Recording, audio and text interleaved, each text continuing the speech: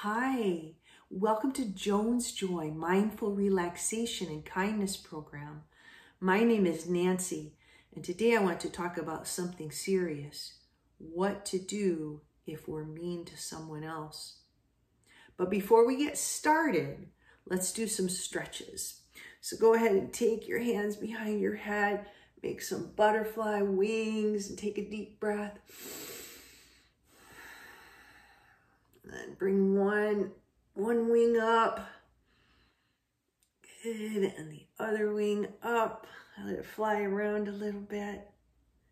Good. Look up again. And then fly off to the side. Look behind you. Deep breath. Long exhale. Fly over to the other side. Deep breath. Long exhale. Come on back. Give a stretch. Ah, and let your arms be quiet. Notice your feet on the ground. You can close your eyes if you want for a few moments. Notice the backs of your legs on the chair. Notice where your hands are touching your legs or your desk. And notice the air coming in and out through your nose. A short little body scan to help us get centered, to quiet down. Feel that sense of being at ease. All right. So today I want to talk about what happens or what we need to do if we're mean to someone. We all make mistakes. And sometimes those mistakes hurt other people's feelings. Sometimes we might even try to hurt someone else's feelings. Sometimes maybe we're trying to impress our friends, so we're mean to someone else.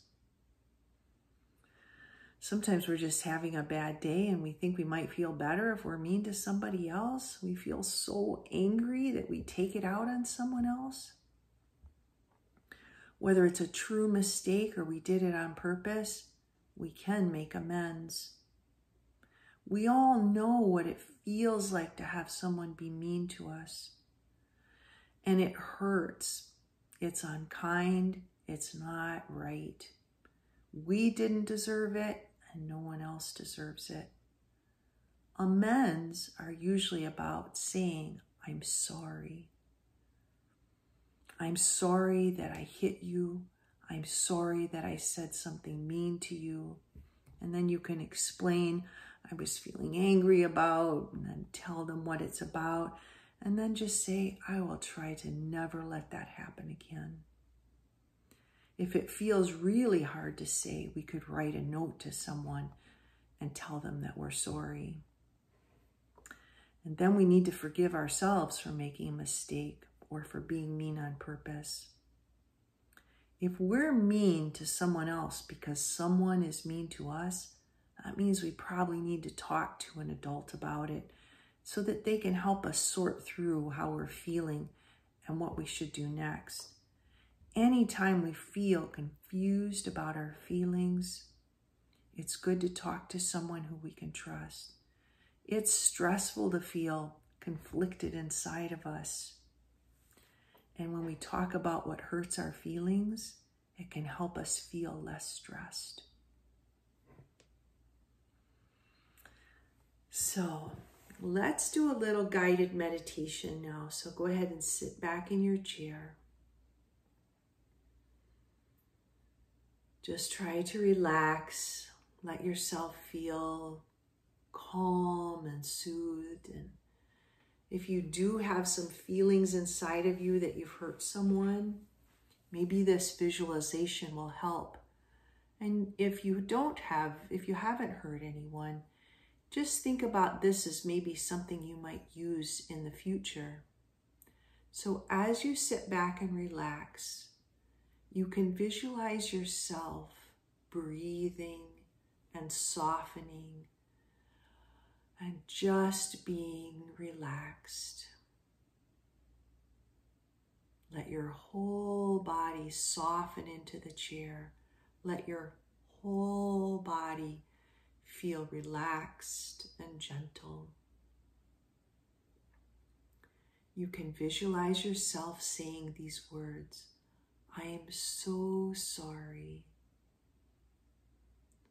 I'm so sorry. I'm so sorry. Please forgive me.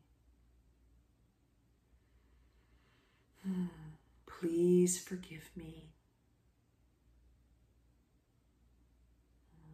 Please forgive me.